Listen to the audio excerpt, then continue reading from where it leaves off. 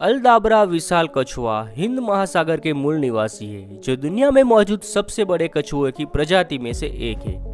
यह प्रजाति बहुत लंबे समय तक जीवित रहती है, जो 250 साल से भी ज़्यादा साल तक जीवित रह सकता है। एल डबरा कछुआ करीब एक मीटर लंबा होता है, वहीं इसका वज़न 100 किलोग्राम से भी अधिक होता है।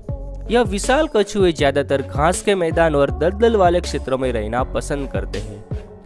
यह विशाल कछुए शाकाहारी होते हैं जो आसपास के क्षेत्र में मौजूद वनस्पति को खाते हैं। एक समय में इस विशाल कछुए की प्रजाति को संकटग्रस्त घोषित किया गया था, लेकिन आज इसकी संख्या डेढ़ लाख से भी ज़्यादा है।